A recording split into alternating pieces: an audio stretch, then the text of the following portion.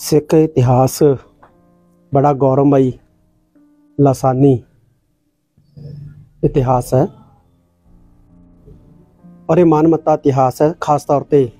ਸਾਡੇ ਸਿੱਖਾਂ ਵਾਸਤੇ। ਸ੍ਰੀ ਦਰਬਾਰ ਸਾਹਿਬ, ਸ੍ਰੀ ਮੁਕਤਸਰ ਸਾਹਿਬ ਦੀ ਧਰਤੀ ਜਿਹੜੀ ਹੈ, ਬੜੀ ਪਾਵਨ, ਬੜੀ ਪਵਿੱਤਰ ਧਰਤੀ ਹੈ।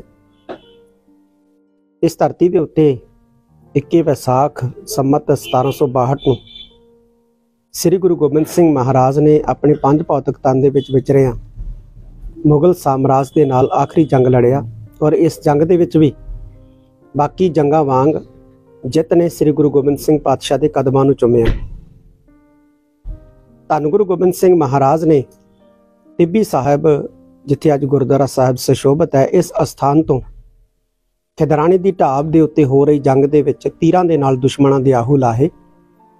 ਜੰਗ ਦੀ ਸਮਾਪਤੀ ਤੋਂ ਬਾਅਦ ਜਦੋਂ ਸਤਿਗੁਰੂ ਜੀ ਖਿਦਰਾਣੇ ਦੀ ਢਾਬ ਤੇ ਪਹੁੰਚੇ,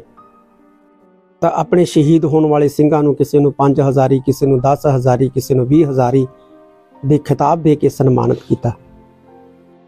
ਔਰ ਇਸ ਜੰਗ ਦੇ ਵਿੱਚ ਸ਼ਹੀਦ ਹੋਣ ਵਾਲੇ ਮਹਾਨ ਸੂਰਬੀਰ ਯੋਧੇ ਭਾਈ ਮਹਾ ਸਿੰਘ ਜੀ ਦੀ ਬੇਨਤੀ ਦੇ ਉੱਤੇ ਸ੍ਰੀ ਗੁਰੂ ਗੋਬਿੰਦ ਸਿੰਘ ਪਾਤਸ਼ਾਹ ਜੀ ਨੇ ਵਿਦਾਵਾ ਪਾੜਿਆ। ਔਰ ਨਾਲ ਹੀ ਜਿੰਨੇ ਸਿੰਘ ਸ਼ਹੀਦ ਹੋਏ, ਉਹਨਾਂ ਸਾਰਿਆਂ ਨੂੰ ਮੁਕਤਿਆਂ ਦਾ ਮਹਾਨ ਸਨਮਾਨ ਦੇ ਕੇ ਇਸ ਧਰਤੀ ਨੂੰ ਵੀ ਖਿਦਰਾਣੇ ਦੀ ਢਾਬ ਤੋਂ ਸ੍ਰੀ ਮੁਕਤਸਰ ਸਾਹਿਬ ਕੀਤਾ।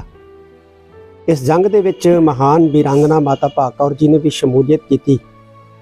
ਔਰ ਉਹਨਾਂ ਨੇ ਦੁਸ਼ਮਣਾਂ ਨੂੰ ਸਵਾ ਮਨ ਭਾਰੀ ਲੋਹੇ ਦੀ ਸਾਂਗ ਦੇ ਨਾਲ ਬੜਿਆਂ ਵਾਂਗੂ ਪਰੋਇਆ। ਇਹ ਇੱਕ ਐਸੀ ਜੰਗ ਹੈ ਜਿਸ ਜੰਗ ਦੀ ਸਮਾਪਤੀ ਤੋਂ ਬਾਅਦ ਸ਼ਹੀਦ ਹੋਣ ਵਾਲੇ ਸਿੰਘਾਂ ਦਾ ਸੰਸਕਾਰ ਜਿਹੜਾ ਜਿਹਨੂੰ ਅਸੀਂ ਅੰਤਮ ਸੰਸਕਾਰ ਕਹਿੰਦੇ ਹਾਂ ਸ੍ਰੀ ਗੁਰੂ ਗੋਬਿੰਦ ਸਿੰਘ ਮਹਾਰਾਜ ਨੇ ਆਪਣੇ ਹੱਥੀਂ ਆਪਣੀ ਨਿਗਰਾਨੀ 'ਚ ਆਪਣੀ ਨਿਗਾਹਬਾਨੀ ਦੇ ਵਿੱਚ ਕੀਤਾ।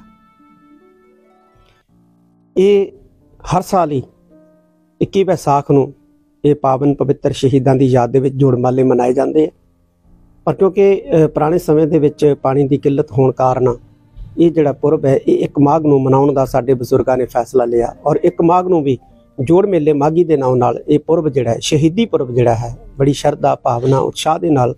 ਹਰ ਸਾਲ ਹੀ ਸ੍ਰੀ ਦਰਬਾਰ ਸਾਹਿਬ, ਸ੍ਰੀ ਮੁਕਤਸਰ ਸਾਹਿਬ ਵੱਲੋਂ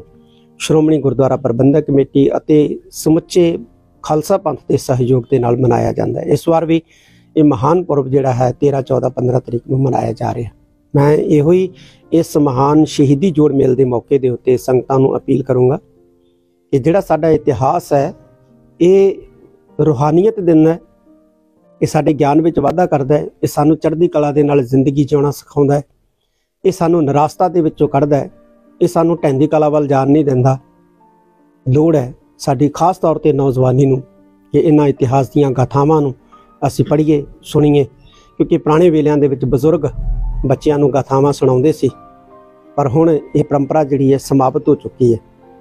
ਗੁਰੂ ਘਰਾਂ ਦੇ ਵਿੱਚ ਕਥਾ ਦੇ ਰੂਪ ਦੇ ਵਿੱਚ ਇਹ ਕਥਾਵਾਂ ਜਿਹੜੀਆਂ ਨੇ ਸੰਗਤਾਂ ਨੂੰ ਸੁਣਾਈਆਂ ਜਾਂਦੀਆਂ ਨੇ।